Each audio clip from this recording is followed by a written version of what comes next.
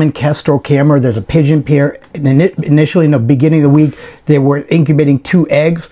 Later, has nestlings hatched. And look at here, while the female is protecting the nestlings, a myna pair comes to visit the box. The question is, what do they want? Do they want to prey on the two nestlings? Or do they want to actually use a box to breed in? Uh, both are possible. Uh, house, uh, uh, common myna, there's an invasive species that breed in basically everything. Uh, and they also prey on everything. They prey on, on uh, fruits, vegetables, and also other birds, and insects and lizards and everything. So they're, they're omnivores. They literally eat everything. So here the, the, the pigeon has to protect her the, the nestlings because if the pigeon will leave, the, the, there's a chance that these mynas will predate and eat it. But look at here, the pigeons were out. Sometimes they leave the nesting a little bit alone, and the mynas came.